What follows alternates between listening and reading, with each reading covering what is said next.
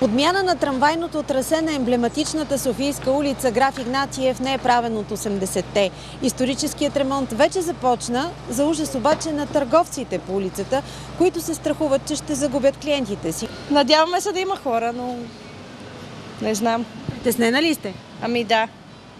Ако няма работа, трябва да затвориме. Ще се подменя цялостна подземна инфраструктура, водопроводи, канализации, топлопроводи, цялостна подмяна на електрическото трасе в, тази зона,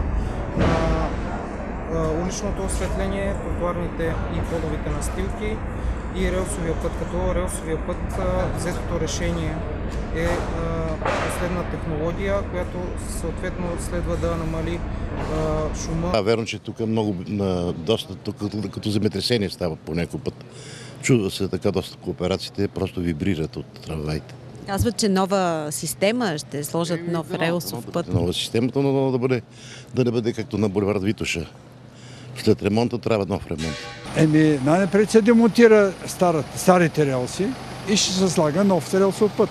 Всъщност разбрахме, че новият релсов път ще бъде по-безшумен, по-модерен. Какъв ще бъде той?